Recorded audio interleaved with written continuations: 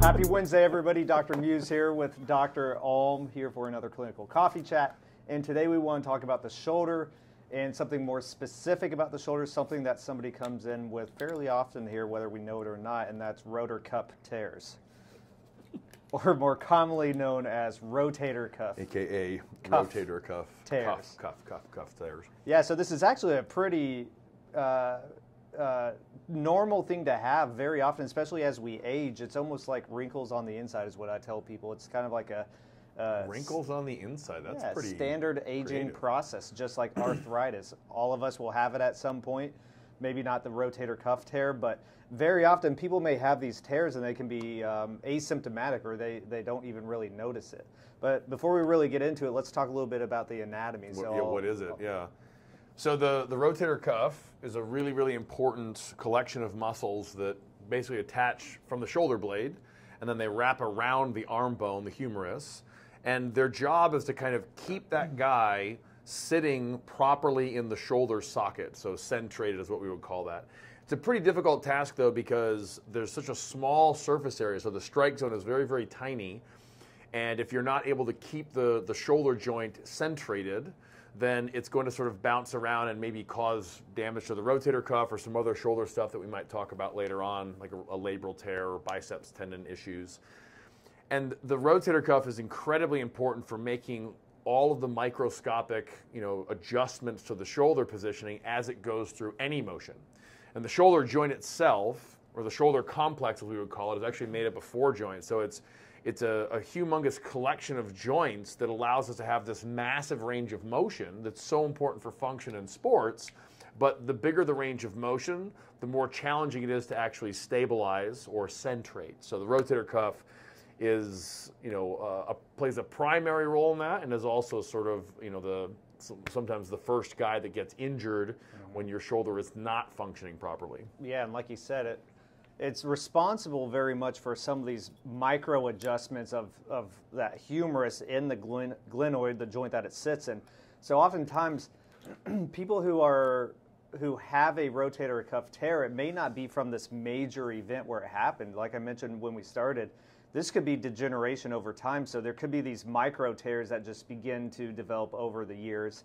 And a lot of times it's, you know, we just see these small oscillations where it's just trying to maintain this, this centrated position. And then maybe at some point there's that right time, right place where it actually does tear more. So we have things like full thickness tears where there's a full uh, tearing of the, the common tendon.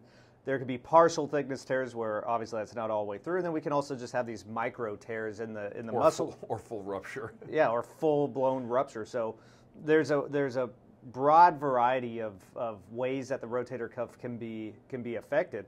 Um, but let's get a little bit more into the the assessment. So how do we first figure out if it's the rotator cuff causing the issue, or Well, maybe for- it's the- coming from sy- somewhere? Could be coming else? from somewhere else. All right. The the symptoms that people typically are going to get when you have rotator cuff issues. Now that that could be it's aggravated, it's it's mildly fraying, it could be a, a, a tear. Um, I, I mean, I've seen a wide variety of severity of presentation that doesn't match the actual imaging, and that's consistent with research. But someone might come in and they have you know, a horrible tear in one of their rotator cuffs and they just get a tiny bit of shoulder pain if they sort of reach up here. But what you're typically getting is going to be, you know, pain on the outside of the shoulder. You might get pain when you're when you're moving your arm up, so abduction. A lot of times there'll be a catching point right around, you know, when your arm's horizontal. Um, we'll kind of describe what's going on with that later on, but like that, that catching, difficulty reaching overhead, pinching and pain when you reach up overhead, and then just sort of that aching there. Now, those can come from lots and lots of sources. So, a lot of times, what I found in my practice when somebody comes in with a quote unquote torn rotator cuff, the symptoms are actually coming from trigger points in one of those rotator cuff muscles. So, usually the, the infraspinatus or the teres minor, these are these two small muscles on the back side of the, uh, of the shoulder blade. And those, when you sort of push on those trigger points, they'll radiate and refer into the shoulder joint itself, maybe into the front, mimicking sort of a biceps tendon problem, or a lot of times right on the where your deltoid comes together on the side of your arm, they'll complain about achiness and pain there.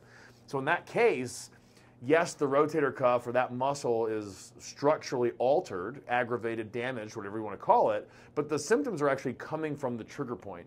Now, trigger points themselves, this is again a little bit more, you know, deep end of the pool, they're sort of neurological expressions of dysfunction. So if you have dysfunction in the body, then you're going to get trigger points, and those trigger points can actually produce your pain.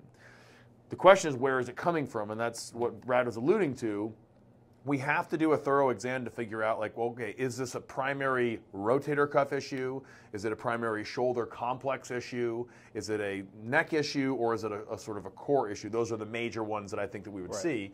Um, the one that's very very common that gets overlooked a lot of times at other offices is they're not considering the cervical spine's role in the process. And i i would argue that the vast majority of the time it's definitely contributing and more than half the time, I think it's the primary cause. And I mean that literally. Like you could come in. I mean, I had a friend the other day. He had shoulder problems. He lives in Chicago. He had been treated for nine months with shoulder pain. Uh, and he had all the, the structural findings on his MRI to match. So sort of like, okay, the, the diagnosis of rotator cuff, you know, injury makes sense. But we took him through a thorough cervical exam or examination of his cervical spine, a la McKenzie, and we're able to abolish his symptoms just on the phone. So just I just talked to him through talked him through it, and by treating the, the cervical spine, we got rid of his pain and restored normal, full, symmetrical range of motion. Mm-hmm. So it's really important that you we go in and we actually look at the cervical spine because if it's the primary cause and you're treating the shoulder, you will just spin your wheels. Like you'll just keep, these are the ones that you keep going to therapy and you're like, yeah, it feels better when I leave, but then it's the same later that day or the next day. So the neck is really, really important. You know, other than that, we have to go in and actually then, t- if, if we've ruled the neck out, it's not participating, then we have to go in and, and, sort of look at the shoulder itself. So that's going to be some manual muscle testing of the different muscles. That's going to be some orthopedic testing that we might go through to see if we can, you know, produce a pinching or a catching or whatever. And then we have to go in and do some functional testing, which to see how well is this thing actually functioning. And between ruling the neck out, looking at the function of the shoulder and doing some classic orthopedic tests, with or without an MRI, we're usually able to diagnose that you know it is or is not a primary rotator cuff issue. Right. So he ran through a couple things there. Obviously, it could be the cervical spine. We say that ad nauseum with every other podcast we do. Could be trigger points, which when there's trigger points, those are, like you said, a neurological expression of dysfunction. So we may work more on things like manual therapy to help with those, but more so um, instilling some kind of stability into the shoulder to try to abolish those trigger points. But there are times where it could just be an actual structural pathology of the shoulder or rotator cuff tear, especially once we are reaching like that 55 year mark. That's where we begin to see an uptick in numbers in terms of rotator cuff tears. We'll do some orthopedic testing, maybe some imaging.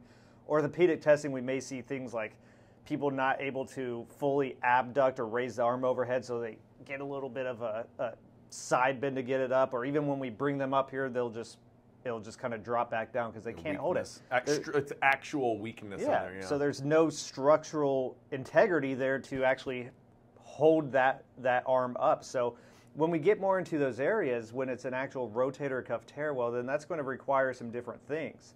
That's where we're going to get more into our um, you know, some of the more physical therapy type stuff, we do need to strengthen that. We do need to work on some of the stability. And at the end of the day, you know, after a round of conservative care, if, if we're just not seeing changes there, the tear's too big, they're not uh, able to perform some of those activities of daily living, then that may be a referral to someone for something like surgery. But we got to make sure we go through all of our uh, go through all of our steps here. Rule out the neck, rule out trigger point referrals, rule out any sort of um, other contributing factors. And then, if we have no sort of success w- with it, then we can confidently say, okay, this is a structural pathology that needs a little bit more beyond what we can do here in the office. Yeah, I mean, I, I break rotator cuff or shoulder complaints into four categories. The first one is going to be a um, cervical spine dysfunction. Something's going on with the neck producing that. Uh, the next one is going to be a functional problem with the shoulder. So it's not moving correctly, and that can cause pain. That's where you're going to get lots and lots of those trigger points in there. Again, you may or may not have any observable findings to the structure of the rotator cuff or the shoulder on an MRI but you're still getting pain in all the same ways like he discussed lifting your arm up you know reaching to grab something whatever. So cervical spine then functional. Then you're going to have actual structural pathology to the shoulder. So that well, in this case we'll just stick with the rotator cuff. And that's divided into two categories. One is they will respond to conservative care. The other one is they will not respond to it. So with the first one cervical spine obviously we're going to go in and we're going to treat the cervical spine. With the second one, shoulder function problem, that's going to be doing a lot of functional rehab, doing some trigger point work so that we can actually get that shoulder functioning well and then sure enough they're going to they're going to respond great. The next one though, instead of trying to get it to function and control its movements better, you know, getting rid of the the trigger points, now not only do we have to do you know what I just described there, but we also have to work on improving the actual physical strength of those muscles. So if you have a partial thickness tear in one of your rotator cuff muscles, that means it's going to it's going to be unable to produce the, the contractile force to execute your movements in everyday life. Mm-hmm. So in that case, it's not only a control or a stability issue, but it's also a strength issue. And that's where you get into some of the old school, tr- more traditional rehab exercises where we're just trying to strengthen the rotator cuff. Right. The last category is the one that, that Dr. Muse just mentioned, and that is we've ruled out and treated all three of the other categories, and we've got the imaging to back it up, and it's just time to send that person to surgery. Yeah, so to, to really wrap this up, he just mentioned all these steps that we we prefer to take before that final surgical step. Just like we've talked about in some of our other podcasts, unfortunately, very often that whole process is flipped on its head. Someone gets imaging when they have shoulder pain. Oh, there's a tear. Let's do surgery. And then it's a failed surgery, aka they're still having issues. Maybe they even have some new issues from having the surgery. So until we do a full evaluation, go through this conservative care, um, I would I would try to withhold as many people as possible from getting that early surgery and exhausting these other things first, because oftentimes a rotator cuff uh, repair they just don't turn out how you would prefer them to, and that may be because there wasn't a a really good um, attempt at the conservative care first, and maybe it's not really the true issue if they do surgery on that rotator cuff. So yeah. So the the good news is most rotator cuff injuries, even if you have this very, very scary MRI, are absolutely fixable. So um, it, it is not this dire situation where you're just going to need to go to surgery, or you're going to be on medication, or you're not going to be able to do the things that you want to do. So they are absolutely fixable. So if you guys have any questions, uh, please comment below and we will uh, answer back. See ya.